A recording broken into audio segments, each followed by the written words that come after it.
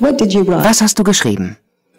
Ich bin von Frank enttäuscht, weil er widersprüchlich und zu wenig liebevoll ist. Dinge macht, die wehtun, ständig an mir herumnörgelt und mich nicht heiraten will.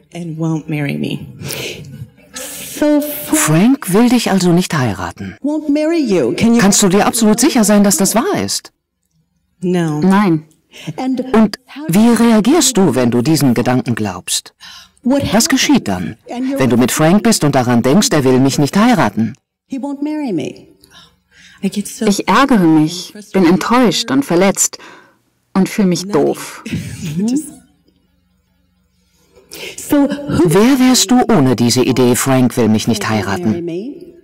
Schließ deine Augen und stell dir vor, du bist mit Frank zusammen, so wie du es kennst. Ihr habt zusammen gegessen, ihr seid unterwegs, vielleicht im Auto. Veränder nichts daran, sieh dir einfach euer gemeinsames Leben an. Aber ohne die Vorstellung, er will mich nicht heiraten. Wer wärst du ohne den Gedanken, er will mich nicht heiraten? Viel glücklicher. Ja. Entspannter. Ja, das gleiche Leben mit dem Gedanken ist stressig und führt zu Streit mit Frank. Ohne diese Idee ist es entspannt und ihr habt eine wirklich gute Zeit. Das stimmt. Ich wäre mehr da und im Moment. Also kehr's um. Frank will mich nicht heiraten. Dreh's um. Er wird mich heiraten. Könnte passieren. Könnte? Könnte passieren. So, lies das nochmal. Da war noch was. Ich bin von Frank enttäuscht, weil er unklar und zu wenig liebevoll ist. Dinge macht, die mir wehtun und ständig an mir rumnörgelt. Frank nörgelt ständig an dir herum. Ist das wahr? Nein. Nein, sehr gut. Gut zu wissen. Also kehr's um. Frank nörgelt ständig an mir herum. Wie könnte ein Gegenteil davon lauten? Er nörgelt nie. Okay, aber das scheint so nicht zu klappen. Nein. Gut, manches stimmt, manches nicht. Findest du eine andere Umkehrung? Frank nörgelt ständig an mir herum? Versuch's mal mit ich. Ich nörgel ständig an mir selbst herum. Kann ich mir mal ansehen. Nenn mir ein Beispiel, wo es stimmt. Besonders dann, wenn du mit Frank zusammen bist. Wenn ich mich darüber ärgere, dass er sich nicht binden will, bin ich manchmal recht aufgebracht ihm gegenüber. Ja. Lass uns das nächste ansehen. Ich möchte, dass Frank mitteilsamer und akzeptierender ist und sich zu mir und zu unserer Beziehung bekennt. Das gefällt mir gut. Dreh's mal spaßeshalber um und wende es auf dich selbst an. Ich sollte mitteilsamer und akzeptierender sein und zu unserer Beziehung stehen. Wow.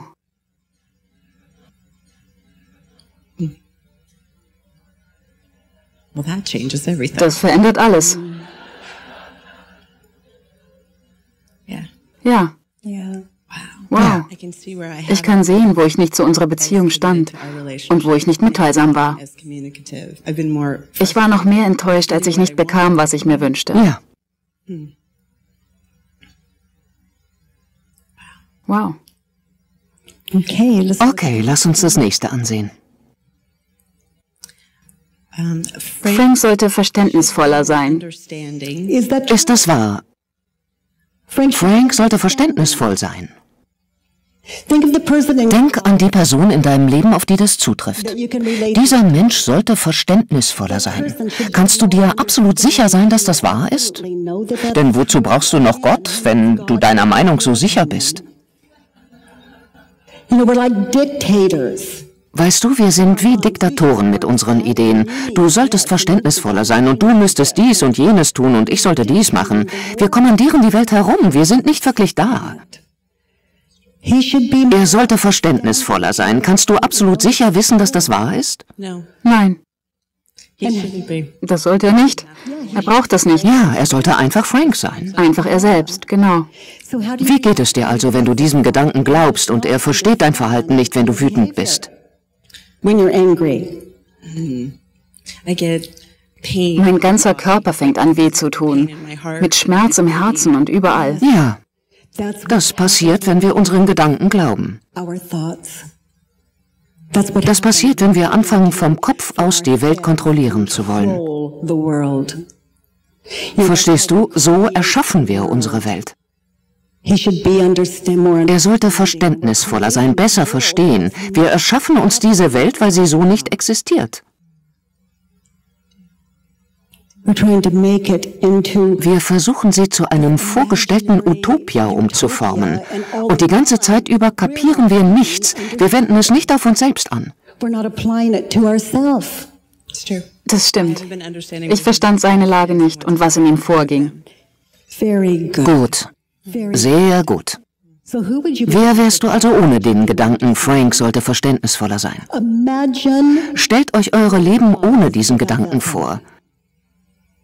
Wer wärt ihr ohne diese Idee?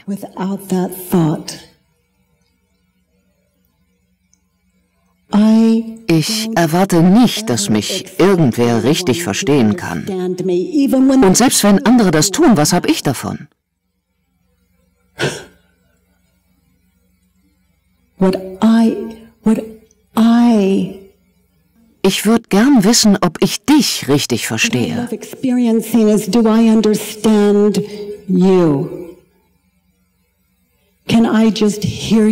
Kann ich dir einfach zuhören und da sein und dich verstehen? Wer wärst du ohne diesen Gedanken? Ich wäre freier, ruhiger. Genau. Ich wäre absolut ruhiger. Pass auf. Lass uns an einen Ort gehen, der sehr spannend sein kann und zu dem ich euch alle einlade, mir zu folgen. Meine Liebe, schließ die Augen und versuch dir Frank vorzustellen, wie er dich wieder mal absolut nicht versteht. Hast du's? Er kann's einfach nicht, okay? Sieh ihn dir an. Lass deine Geschichte einen Moment lang los und sieh dir Frank an. Sieh ihn dir ganz genau an. Schau dir seine Augen an, sein Gesicht. Wen kannst du sehen? Was siehst du? Ich sehe seine Liebenswürdigkeit. Und auch wie liebevoll er ist. Da ist ein bisschen Angst, aber trotzdem auch der Wille, ganz da zu sein. Ja. Ja. Sehr gut. Ich denke, du siehst Frank so zum allerersten Mal. Gut. Ja. Das ist es, was ich an The Work so mag. Weißt du, ich habe gelernt, dass es keine zwei Leute gibt, die sich wirklich begegnet sind. Wir sehen nicht mal unsere Kinder richtig, weil wir ihnen ständig vorschreiben, was das Beste für sie ist. Und da sind Leute, die wir sogar heiraten wollen, ohne sie zu kennen. Verstehst du? Und das nach 30 Jahren Beziehung mit ihnen. Wer wäre ich ohne meine Geschichten? Was bin ich ohne meine Geschichten? Wunderschön. So ist es. Also dreh's um. Kehr die Vorstellung um. Ich sollte mehr Verständnis haben. Genau. Für dich und für Frank. Versteh dich selbst besser und halt dich zurück, wenn du merkst, dass du reagierst und ärgerlich wirst. Bemerk es einfach und sei ein wenig nachsichtig mit dem lieben Wesen, das du Ich nennst.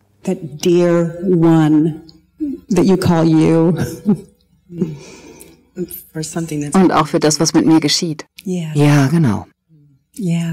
Wie lautet das nächste? Frank sollte nicht so kritisch und entschlossener sein, mich zu heiraten. Ja. Frank sollte also nicht so kritisch sein, ist das wahr? Kannst du absolut sicher wissen, dass das wahr ist? Nein. Ich mag es, dass mich Leute kritisieren. Wie sonst sollte ich wachsen können? Falls ich an mir selbst nichts bemerke, so werden es die Leute, mit denen ich lebe, umso mehr tun. Sie sehen jeden Makel an mir. Sie helfen mir, mir selbst gegenüber wachsamer zu werden. They wake me up to myself. Nenn mir mal eine dieser Kritiken von Frank, die sich wie ein Stich ins Herz anfühlen. Ich sei übertrieben gesellig. Hat er recht? Ich glaube nicht, dass das so ist. Vielleicht aus seiner Sicht und so, wie er lebt. Aus seiner Sicht schon. Also hat er recht. Das ist seine Welt, aus der er heraus er lebt. Du bist für deine eigene Welt nicht so gesellig, aber für seine Welt bist du es. Aber es kränkt mich. Okay. Gut. Lass uns mal einen Dialog führen. Du bist Frank. Okay. Und ich bin jemand, der ihn sehr liebt. Ich wäre du, okay? Gut. Jetzt demonstriere mir das mal.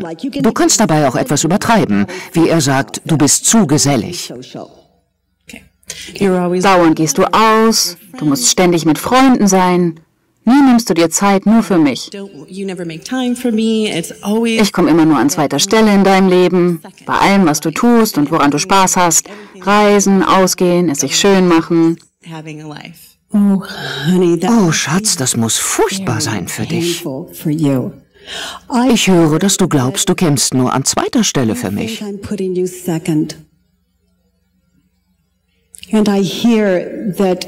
Ich höre auch, dass ich deiner Meinung nach lieber mit anderen wäre. Und weißt du, manchmal ist es wirklich so, dass ich es lieber sein würde.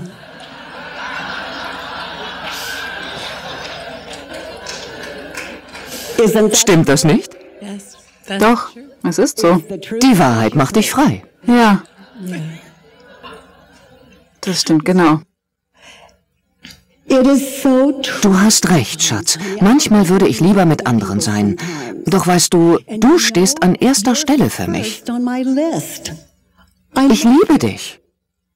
Und zugleich bin ich auch gern in der Gesellschaft von anderen. Was wäre denn das Schlimmste, was er darauf antworten würde? Ich denke, du befürchtest da etwas, sonst würdest du ihm die Wahrheit sagen.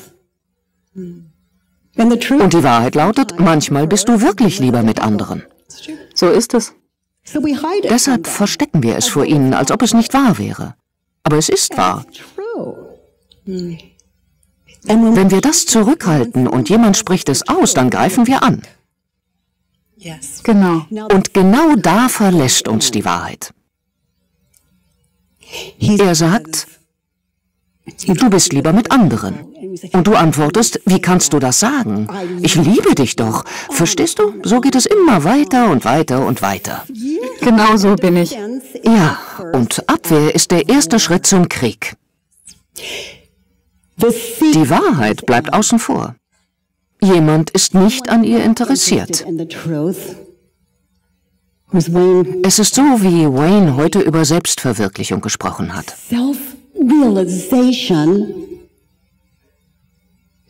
Dass wir alle genau mit denjenigen Menschen zusammen sind, die uns das ermöglichen. Er sagt also, du bist lieber mit anderen zusammen und du wirst aggressiv. Wir nennen es Abwehr, aber es ist ein Angriff. Es fühlt sich sogar wie Angriff an. Weil wir genau das tun. Wir wehren etwas ab, was wahr ist. Und dann wundern wir uns, dass wir nicht aufmerksam sind. Dabei verlieren wir eben damit unser Gespür. Wenn dich also jemand das nächste Mal kritisiert und du bemerkst, wie du in scheinbar völlig berechtigter Abwehr zum Angriff übergehst, also dann fang es an zu spüren. Versuch in diesem Moment den Stress und den Angriff und die Abwehr zu spüren. Und wie das alles deinen Körper umtreibt. Man nennt es Krieg. I invite you in that moment Versuch mal gerade in dem Moment, wenn du damit anfängst anzugreifen, dir all dieser Gefühle bewusst zu werden. Und hör diese kleine Gebetsglocke läuten und halt dich zurück und frage dich, kann es sein, dass er recht hat? Wäre das möglich? Wenn ich etwas abwehre, muss ich irgendwann zugeben, dass derjenige, den ich durch meine Abwehr angriff, recht hatte.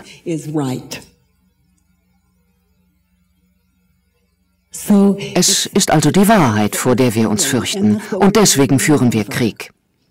Und wer fängt den Krieg an? Das wäre dann ich. Es braucht keine zwei, um einen Krieg zu beginnen, einer reicht. Wenn es also Krieg in meiner Familie gibt, dann habe ich ihn angefangen. Wenn ich mir das klar mache, kann ich handeln. Ist das verständlich für dich? Weil ich die Macht habe, den Krieg zu beginnen, habe ich auch die Macht, ihn wieder zu beenden. Und wenn ein Mensch ausreicht, um Krieg in dieser Welt zu beenden, dann kann Schluss sein mit Krieg. Wenn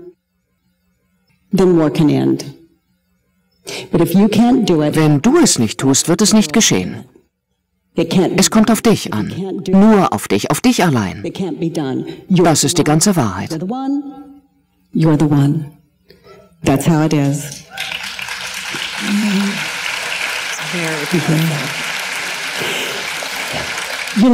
Du kennst das. Die Regierungen und Länder sollten damit aufhören, Krieg zu führen. Aber in meinem persönlichen Leben funktioniert es. Verstehst du, sind wir nicht trotz allem immer noch zusammen?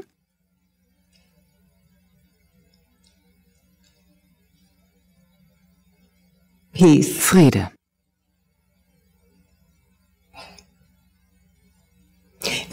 Er fängt bei dir an. Er beginnt bei dir oder er beginnt nirgendwo. Nächster Punkt. Okay, ich will, dass Frank netter und liebevoller zu mir ist und zu mir steht und sich für mich einsetzt. Kehr es um. Du kennst das mit der Umkehrung. Was hat es wirklich mit mir zu tun, wenn mich jemand liebt?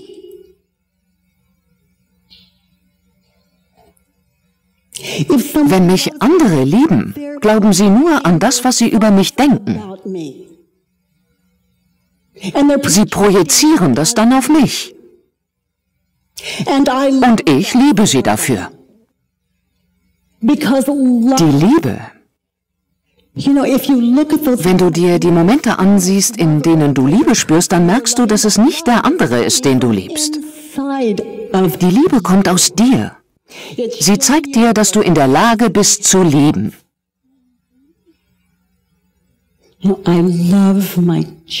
Ich liebe meine beiden Kinder und meinen Mann, alle drei.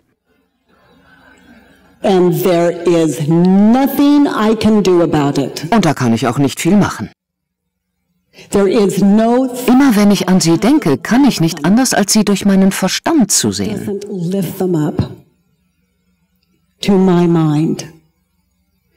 Deshalb heißt die Frage nicht, liebst du mich, sondern liebe ich dich? Weil wir nur dort im Gleichgewicht sind. Dort begegnen wir unserer wahren Natur.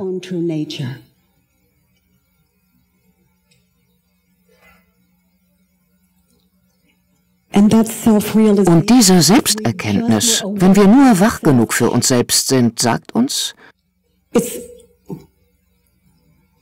Du bist es, mit dem du morgens aufwachst, du bist es, mit dem du geboren bist, du bist es, der dein Lieblingsessen und deinen Lieblingsfilm mag. Du bist auch der, mit dem du abends schlafen gehst. Du solltest also zunächst denjenigen lieben, mit dem du bist. Denn wenn du dich selbst nicht lieben kannst, wie kannst du es von uns erwarten?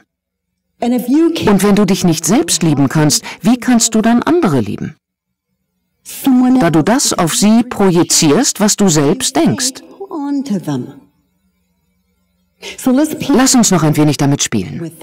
Nehmen wir an, jemand kommt die Treppe rauf. Sagen wir, Steven, mein Ehemann. Er kommt morgens in mein Zimmer. Er kommt also morgens rein und sagt, Hallo Schatz. Und ich denke im Stillen, der hat gut reden. Er weiß sehr gut, was er getan hat. He knows what he did. Und damit mache ich mich zu. Verstehst du, ein Feind kam gerade herein und alles, was er sagte, war, Guten Morgen, mein Schatz. Und wieder ein andermal kommt er herein und sagt, Guten Morgen, mein Schatz. Und ich sehe ihn an und denke, oh mein Gott, Was hab ich für Glück, dass ich überhaupt einen Mann wie Stephen gefunden habe. Ist er nicht umwerfend? Ist er nicht wunderbar? Sieh dir nur sein Lächeln an. Okay, ich habe mich in dem Moment selbst animiert. Es waren meine eigenen Gedanken, auf die ich reagiert habe, und sein Beitrag war lediglich ins Zimmer zu kommen und Guten Morgen, Schatz zu sagen. Ich sehe also das, was ich denke. Wir sehen das, woran wir glauben. Und wenn wir unseren Gedanken glauben, wird die Welt ziemlich klein. Außer diese Gedanken sind näher dran an unserer Natur, die aus Liebe und Akzeptanz und freudiger Erwartung darauf besteht, was als nächstes geschieht. Denn wenn du liebst, kümmerst du dich nicht darum zu denken. Du brauchst es auch nicht, weil nur Gutes geschehen kann. Deshalb ist es immer eine gute Erwartung. Es ist so wie jeden Tag Weihnachtsgeschenke aufzumachen. Das ist eine wunderbare Sache, der Nichtwissende Verstand. Und verstehst du, Partner sind wunderbar. Sie finden deine wunden Punkte. Genau dafür sind sie da. Jeder Mensch ist Gott im Verborgenen und weiß deshalb genau, welche Knöpfe er bei dir drücken soll. Und was bei dir noch zu tun ist, damit du den nächsten Schritt zur Selbstverwirklichung vollziehst. Lass uns das nächste ansehen und weitergehen. Hin zu dir, zu deinem wunderbaren Selbst. Frank ist unklar, wütend, frustriert und voller rechthaberischer Ansichten. Also kehr es um. Ich bin, ich bin unklar. Es geht um Frank. Er sagt die Wahrheit und du behauptest, dass er das nicht tut. Ja. Wie heißt das nächste? Ich bin wütend. Ja, auf Frank. Weil du deinen eigenen Gedanken über ihn glaubst. Bei mir ist es so, dass ich nie auf Steven wütend sein könnte. Ich nehme einfach einige Gedanken über ihn wahr, die ich noch nicht hinterfragt habe. Kein Wunder, dass ich wütend bin. Ich glaube meinen Gedanken. Derjenige, mit dem ich bin, ist immer unschuldig. Das heißt nicht, dass die anderen das nicht tun würden, was sie tun. Aber meine Gedanken über sie, verstehst du? Das ist der Bereich, in dem ich etwas bewirken kann. Es macht mich frei dafür, fragen zu können, wie kann ich helfen? Und wir leben unser Leben am glücklichsten, wenn wir fragen, wie kann ich helfen? Und weiter? Ich bin enttäuscht. Klar, besonders von Frank. Ja. Und weiter, ich bin frustriert wegen seiner Rechthaberei. Okay, gut. Kehr's um. Ich bin frustriert über meine Rechthaberei. Ja. Und weiter? Das war alles. Okay, okay. Schauen wir uns das letzte nochmal an. Ich will auf keinen Fall eine Zurückweisung erfahren. Ich bin bereit. Ich bin bereit, von Frank zurückgewiesen zu werden. Ich freue mich darauf.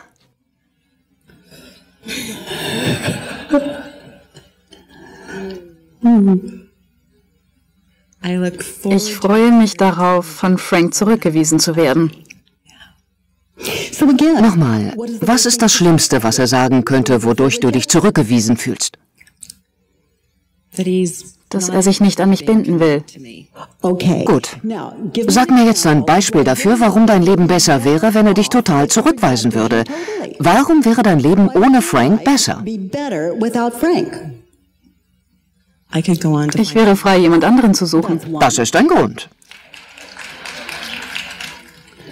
Vielleicht einen geselligen Typ. Ja.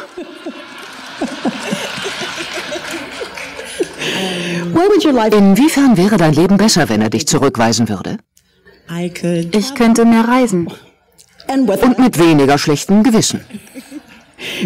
Reisen tust du sowieso, aber es gibt zwei Arten, mit schlechtem Gewissen oder ohne. Ja, genau. Gib mir noch ein Beispiel dafür, warum dein Leben ohne Frank besser wäre.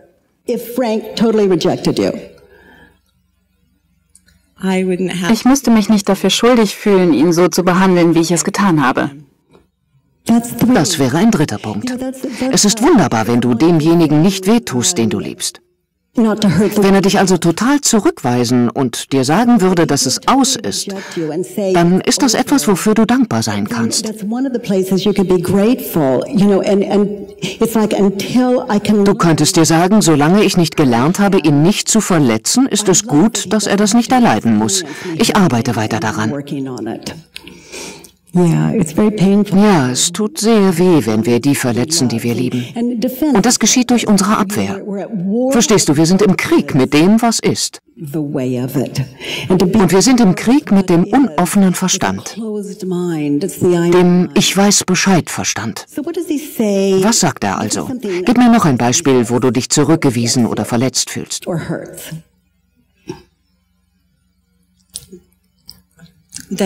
Dass meine Vergangenheit ihm zu schaffen macht. Mhm. Er ärgert sich über deine Vergangenheit. Was hat das mit dir zu tun? Absolut nichts. Gut zu wissen. Lass uns in Dialog gehen. Du bist er und ich bin jemand, der ihn sehr liebt. Ich wäre du. Gut. Du hast all diese Sachen gemacht. Du warst an all diesen Orten. Du hast dich ausgelebt in deinem Leben und hast dich dabei nie auf eine tiefere Beziehung eingelassen. Was stimmt bloß nicht mit dir? Alles, was du getan hast, bevor wir uns getroffen haben, macht mir sehr zu schaffen. Weißt du, wenn du das alles so aufzählst, was ich getan habe, muss ich dir in allem zustimmen. Ich habe das alles gemacht. Aber du hättest es nicht tun sollen. Konntest du nicht anders? Weißt du, wenn ich ehrlich bin, ich konnte nicht. Ich will nur dein Bestes und du hättest es besser wissen sollen. Ach, weißt du, das wäre toll, wenn es so laufen würde, aber so ist es nun mal nicht. Aber danke für deine Hilfe. Schau mal, ich wusste gar nicht, dass du so viel Geduld mit mir haben kannst. Weil ich diese Reisen liebe und weil ich mich so mag, wie ich bin. Es tut mir wirklich leid, dass es dich verletzt, doch ich werde wohl so bleiben. Ich muss dich also so nehmen, wie du bist. Du musst mich nicht so nehmen, wie ich bin, aber dein Leben wäre ein ganzes Stück einfacher, wenn du es tätest.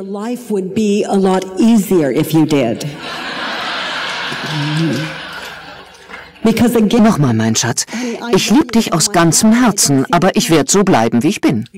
Ich denke, das ist die Wahrheit. Ja.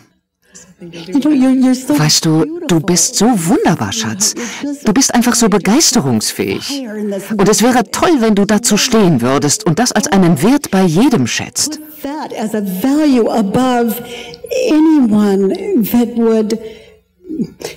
Verstehst du, ich sehe einfach, dass er dir die Wahrheit sagt. Ja, er kennt dich ziemlich gut und er zeichnet ein wunderbares Bild von dir. Es ist nur so, dass er es selbst noch nicht verstehen kann. Ja, genau so ist es.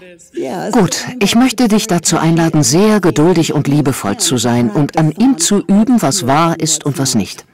Ich danke dir Es war mir eine Freude.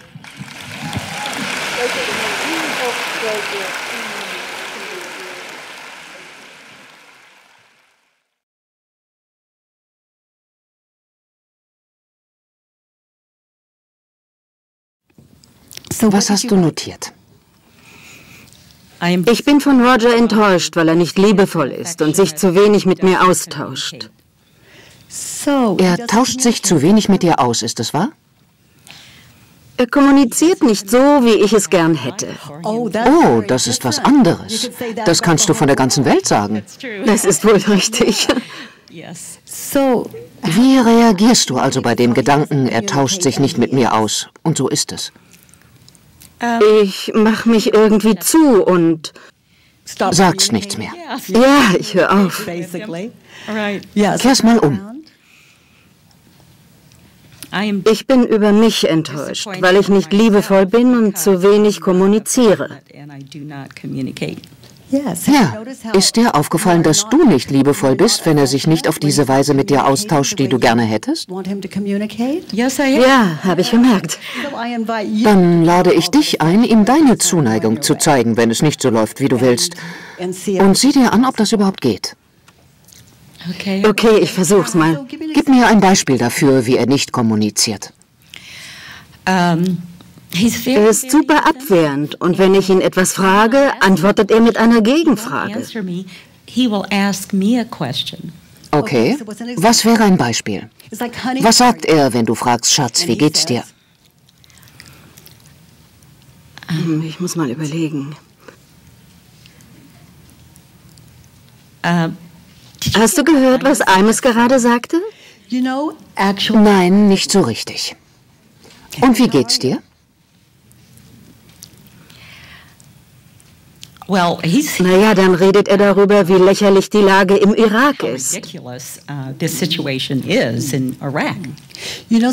Sieh mal, Schatz, du kannst dich gut ausdrücken. Du erzählst mir alles, was du gerade hörst. Das zeigt mir, dass es dir selbst ganz gut geht. So kann man es auch sehen. Nun, er drückt sich in klarer Weise aus. Er stellt ja einfache Fragen wie die nach Eimes. Verstehst du? Und du antwortest ihm nicht. Nein, und zwar, weil ich die Show von Eimes nicht anschaue. Okay, dann wäre das die Antwort. Nein, Schatz, ich schaue mir Eimes nicht an und ich habe nicht gehört, was er sagte. Was war es denn? Und wahrscheinlich würde es dir gerne erzählen. Klar, ständig, in einem Fort, ohne aufzuhören. Du willst dich nicht mit ihm in der Weise austauschen, die er gerne hätte. Das stimmt. Sehr gut. Er ist also dein perfekter Spiegel, stimmt's? Stimmt. Er drückt sich klar aus. Ja, gut, das nächste. Ich möchte, dass Roger mich anfasst und liebevoll und zärtlich ist. Bittest du ihn darum? Ja, manchmal frage ich. Und sagst du ihm, ich hätte gerne, ich möchte, was genau? Dass du mich anfasst und zärtlich und liebevoll bist. Okay, du sagst also, Roger, ich möchte, dass du mich anfasst und zärtlich und liebevoll bist. Das sagst du ihm. Und wie reagiert er darauf? Lass es uns mal nachspielen. Roger, ich möchte, dass du mich anfasst und zärtlich und liebevoll bist. Und ich hätte gern, dass du es jetzt tust. Eine konkrete Zeitangabe ist immer gut. Okay. Schön, dann wird er zu mir kommen und mir einen flüchtigen Kuss geben. Ach, das ist süß. Und dankst du ihm dafür? Ja. Okay, also, Schatz, bitte mach das nochmal. Nur halt mich dabei fest und nimm dir mehr Zeit.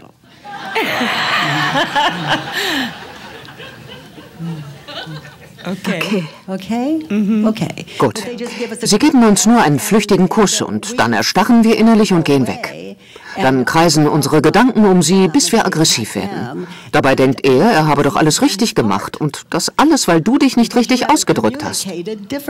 Stimmt. Du bist einfach ausgestiegen. Dabei wäre die Botschaft an ihn, hey Junge, eigentlich braucht es gar nicht viel, um sie glücklich zu machen. Ja. Ja, ja, genau so ist es. Du hast recht, ich beklag mich nicht. Ich nehme es einfach hin. Accepted. Ja. Genau so. Und du denkst, er sollte den Unterschied kennen. Doch er weiß sie nicht, weil du es ihm nicht sagst. Richtig. Gut, was kommt als nächstes?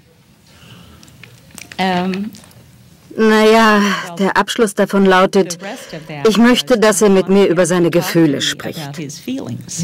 Okay, Schatz, erzähl mir was von deinen Gefühlen. Ich würde wirklich gern wissen, wie du dich fühlst. Ich weiß nicht, wie ich mich fühle. Dann ist es kein Wunder, dass du nichts dazu sagst. Das war mir immer ein Rätsel. Jetzt weiß ich wenigstens Bescheid. Und ich rede auch nicht gerne über meine Gefühle. Das habe ich verstanden. Wie fühlt sich das an, wenn ich dich bitte, über deine Gefühle zu reden und du das nicht willst?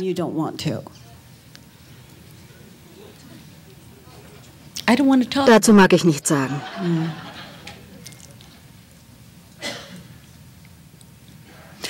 Ist es okay für dich, wenn ich es tue? Ehrlich gesagt, es interessiert mich nicht. Gut, gut. Möchtest du wissen, wie es mir damit geht? Nicht wirklich.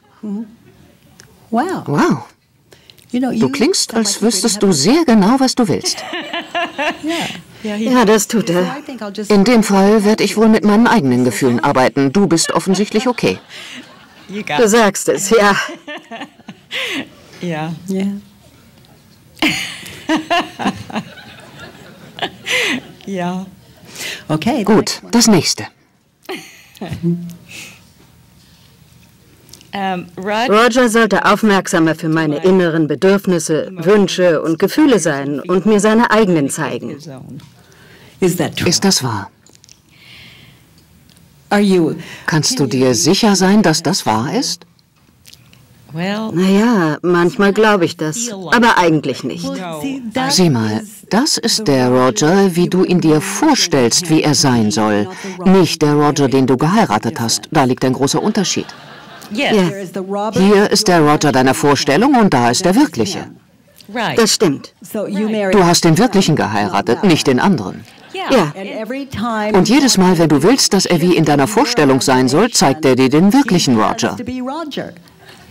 Ich dachte, er würde sich ein wenig mehr öffnen, nachdem wir zusammen sind. Das war deine Vorstellung. Das war mein Bild von Roger, stimmt. Nicht von dem, den du geheiratet hast. Stimmt, genau. Hast du ihn sowas gefragt wie, glaubst du, dass du dich nach unserer Hochzeit mehr öffnen wirst? Er würde vielleicht Nein sagen und dann würde dein Wunschdenken wohl weiter das tun, was du jetzt mit ihm machst. Und er bleibt Roger. Naja, eigentlich tat er es. Nach fünf Martinis war er sehr offen. Und äh, verstehst du, ich dachte, vielleicht geht es später auch ohne die fünf Martinis. Obwohl du sie gezählt hattest.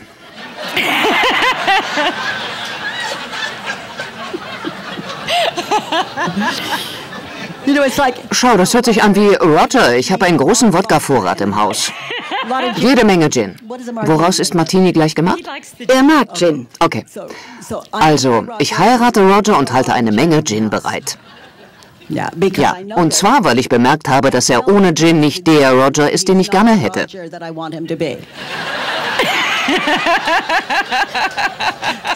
Ich glaube also, ich werde ihn heiraten.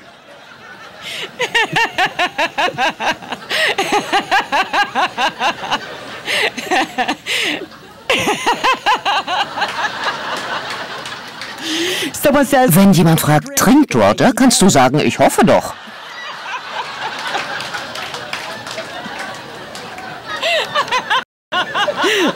So ist er, mein Mann.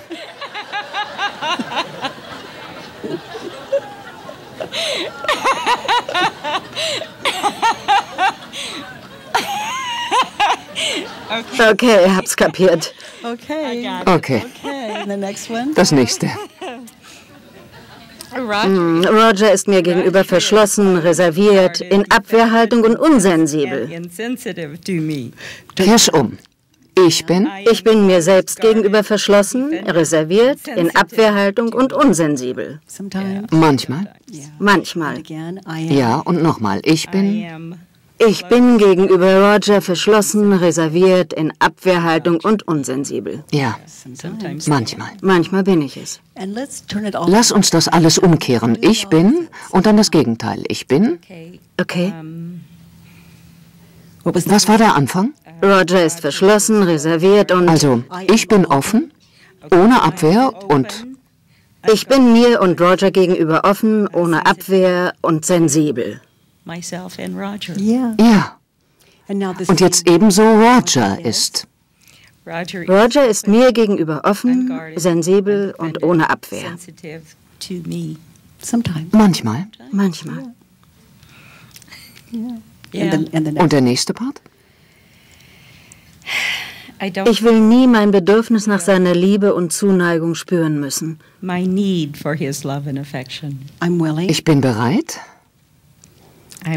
ich bin bereit zu spüren. Es könnte ihm helfen. Okay, meine Liebe, lass uns hier eine kleine Reise machen. Du brauchst Rogers Liebe und Zuneigung. Ist das wahr? Nein, nicht wirklich. Aber es fühlt sich so an. Du willst seine Liebe und Zuneigung. Ist das wahr? Ja. Und was ist mit Roger?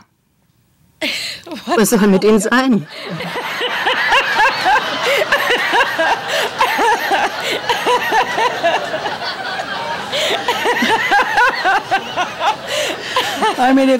Ich meine, er interessiert sich so sehr für Imus, aber du willst seine Liebe und Zuneigung.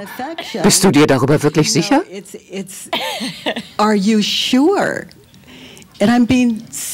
Ich meine es ernst. Sieh mal, wenn Sie sich für Ihre Bücher, Ihren Sport, Ihre Eimasse interessieren und du Ihre Liebe und Zuneigung willst, da passt schon mal das Timing nicht zusammen.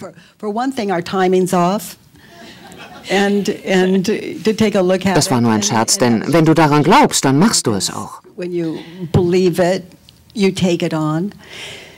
Aber du sagst, ich will seine Liebe und Zuwendung.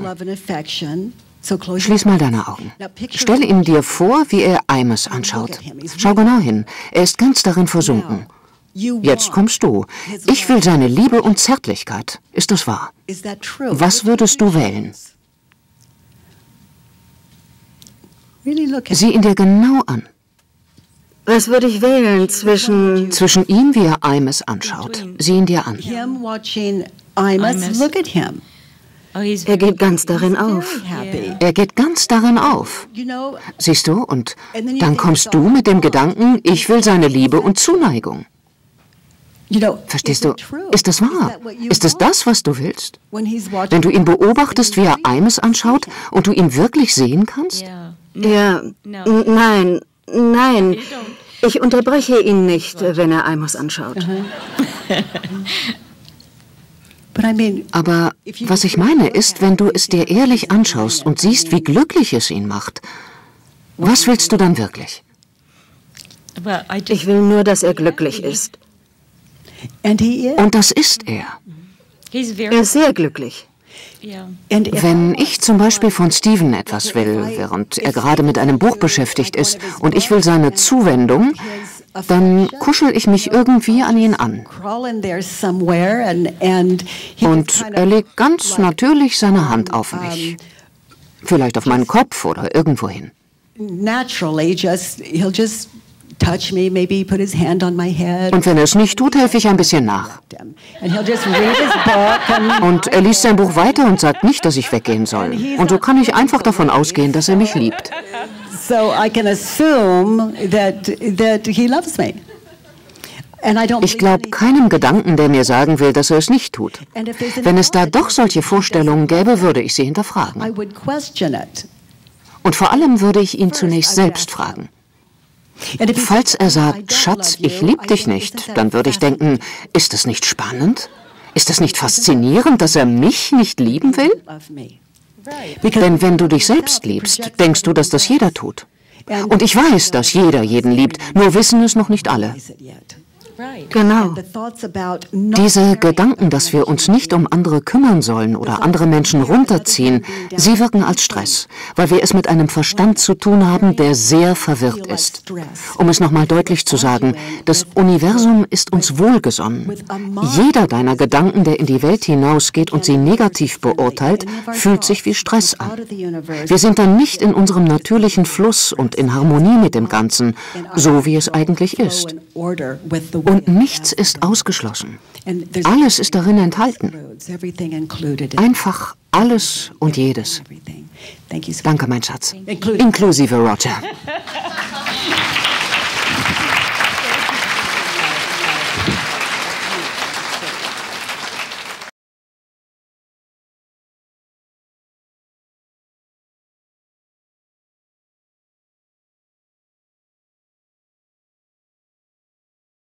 Ich ärgere mich über Untreue, weil ich sie akzeptieren muss, damit sie gar nicht erst vorkommt. Hm.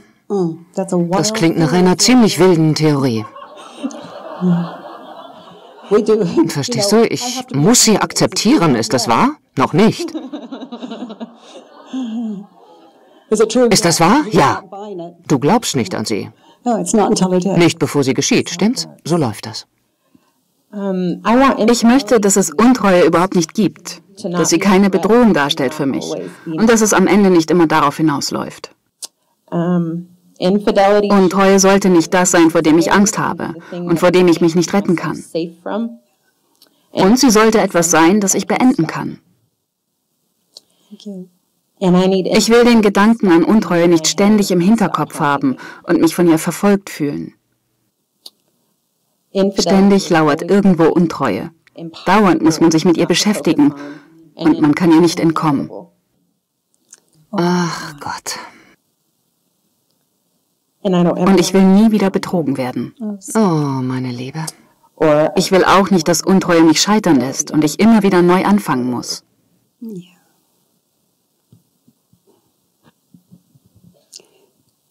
Er hat dich also betrogen, ist das wahr? Weißt du, ich kann mich dabei auch in die Zuhörer reinversetzen. Ich stelle die Frage, aber ich bin zugleich auch Zuhörer. Wenn ich also höre, ist das wahr, gebe ich innerlich eine Antwort, entweder ja oder nein. Um es nochmal zu sagen, unsere Arbeit hier ist Meditation. Du rufst dein eigenes Wissen ab. Du fragst dich, ist das wahr? Wenn du die Welt fragst, wird sie mit Ja antworten. Das heißt, einige werden Ja sagen und andere Nein. Ich will damit sagen, es ist eine chaotische Welt. Aber heute Abend lade ich dich ein, zur Quelle zu gehen. Zu dir selbst. Zu der Quelle, die in dir ist. Er hat dich betrogen. Versuch mal, sie hat mich betrogen oder er betrog mich mit, was immer das in deinem Leben sein könnte. Vielleicht war es Eifersucht zwischen Geschwistern. Sieh dir an, womit du arbeiten willst. Vielleicht war es eine frühere Beziehung. Dann stell da die Frage. Und wenn als Antwort kommt, ja, aber so und so oder nein, weil so und so, dann weißt du, dass es nicht The Work ist denn das ist die alte Methode. In Wirklichkeit ist es entweder Ja oder Nein. Und deine Antwort ist genau die, nach der du gesucht hast, nach der du gesucht hast. Du kannst in dir großartige Lösungen finden und eine Welt entdecken, von der du nichts ahntest, bis du auf sie stößt. Und genau das ist es, wozu ich dich einlade. Er hat dich betrogen, ist das wahr? Sieh dir an, wie du die scheinbar einfachste Antwort geben willst. Sieh es dir lediglich an.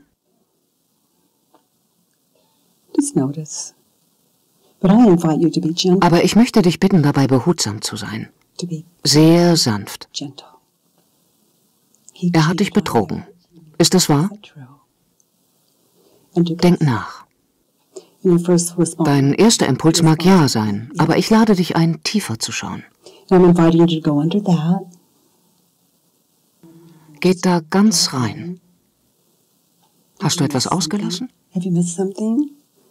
Vermisst du etwas? Erforsche das einfach. Nicht unbedingt, um deine Antwort zu ändern. Erforsche einfach, ob es möglich ist, dass du Unrecht hast. Wahrscheinlich nicht, aber wer weiß. Und wenn du es dann gefunden hast, dein Ja oder Nein, dann gib ihm ein bisschen Raum. Sieh dir an, wie dein Verstand sich draufstürzen und deine Antwort rechtfertigen will. Das ist okay. Sieh es dir an und geh weiter behutsam mit dir um. Stell das alles einfach ein wenig beiseite und erlaub dir, deiner Antwort nachzuspüren. Er hat dich betrogen. Ist das wahr? Du willst eine Antwort? Wenn du sie in dir selbst gefunden hast, ohne Rücksicht darauf, was die Welt an deiner Stelle denken oder glauben würde, dann ja. Ja, in meiner Vorstellung ja. Ah, gut. Du kommst dir selbst auf die Spur. Halte diesen Moment fest. Wenn ihr heimgeht und The Work machen wollt, geht euer Arbeitsblatt durch. Ich wende mich an die, die das nacharbeiten wollen, nachdem sie von hier nach Hause gegangen sind. Ihr kommt heim und ihr erinnert euch an diesen Moment, als sie Ja sagte, dann sich selbst auf die Spur kam und zurückging. Die Antwort auf die erste und die zweite Frage. Nur ein Wort, das ist alles. Ja oder nein? Das war also ein Ja, stimmt's? Okay, er hat dich betrogen. Und jetzt achte auf die zweite Frage. Kannst du dir absolut sicher sein, dass das wahr ist, dass er dich betrogen hat? Was in aller Welt ist das für eine Frage?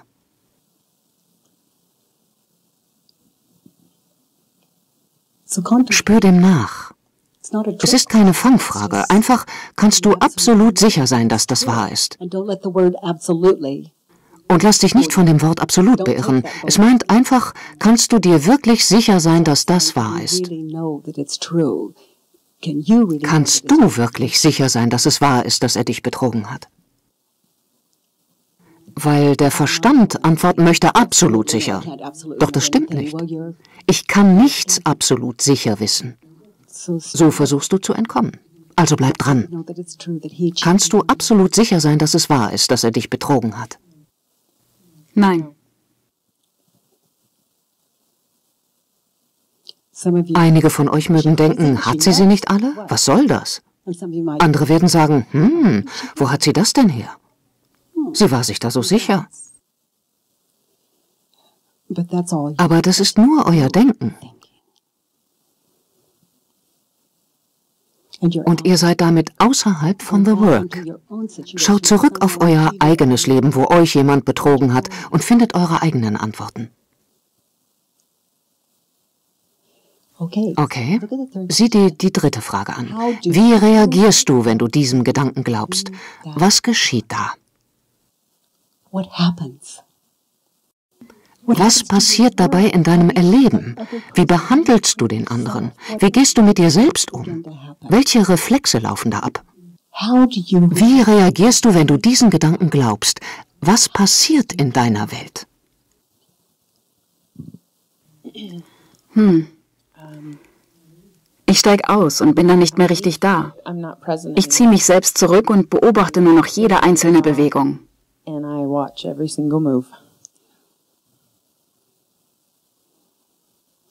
Gibt's da noch was? Schließ deine Augen. Ist da noch mehr? Wie reagierst du? Was geschieht, wenn du diesem Gedanken glaubst und all das abläuft? Diese Abspaltung, dieses Beobachten. Dieses aufmerksame Beobachten und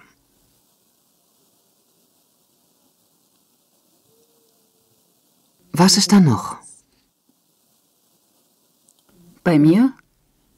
Ähm, ich will wegrennen. Ich will da schnell raus. Und ich finde überall und in jedem Moment Fehler. Okay. Spür das genauer. Und was du als Antworten bekommst, sind Bilder und Vorstellungen und Gefühle, stimmt's? Sie zeigen dir etwas.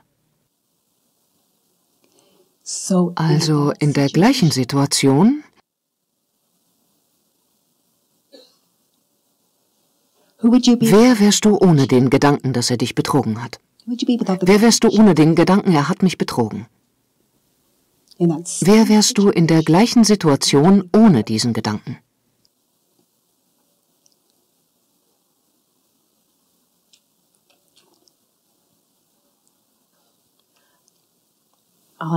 Alles, was mir einfällt, ist ich selbst. Ich würde nicht versuchen, so zu sein, wie ich glaube, dass er mich haben möchte.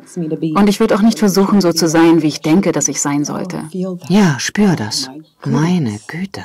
Weißt du, du beschreibst nichts anderes als dein Bedürfnis, was Liebe dir geben soll.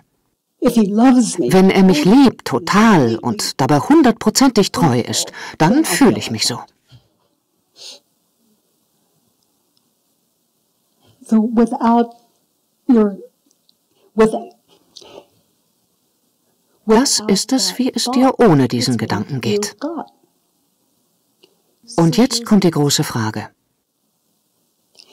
Ist seine Untreue das Problem oder das, woran du glaubst? Wir sind noch ein wenig früh im Prozess für einige von euch, die neu bei The Work sind. Also nimm wahr, wie er mit dem Gedanken zum Übeltäter wird. Ohne den Gedanken bist du wieder du selbst. Wie kann er also das Problem sein?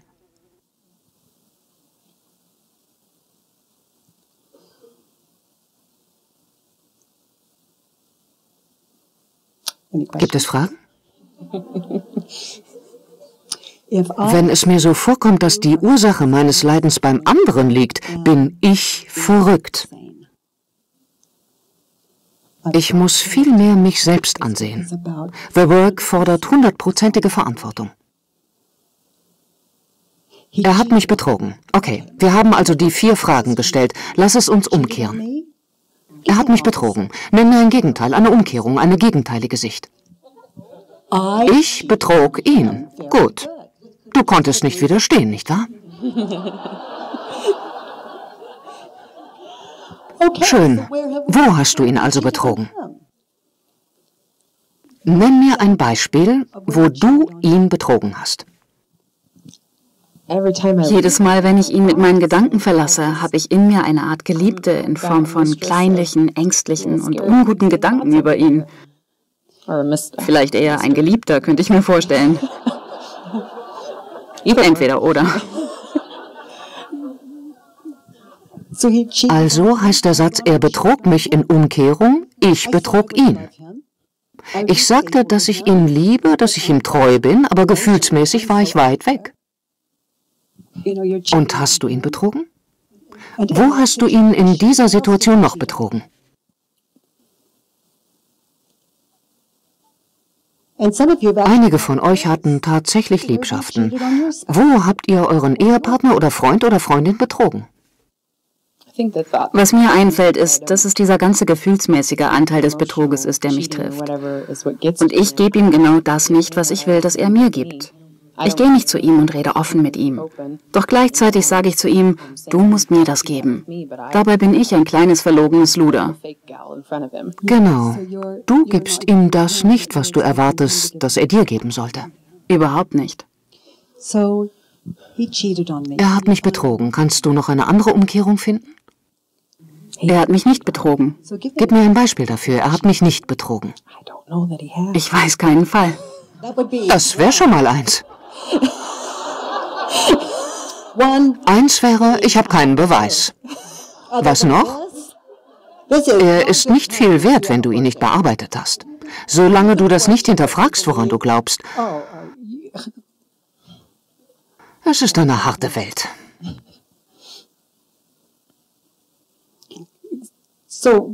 Okay, wir wollen uns nicht länger mit weiteren Beispielen aufhalten. Du betrügst ihn, wenn du annimmst, dass er untreu ist, aber dafür keinen Beweis hast. Hast du ihn gefragt?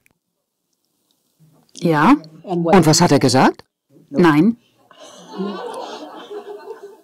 Und wäre es möglich, dass er nicht lügt?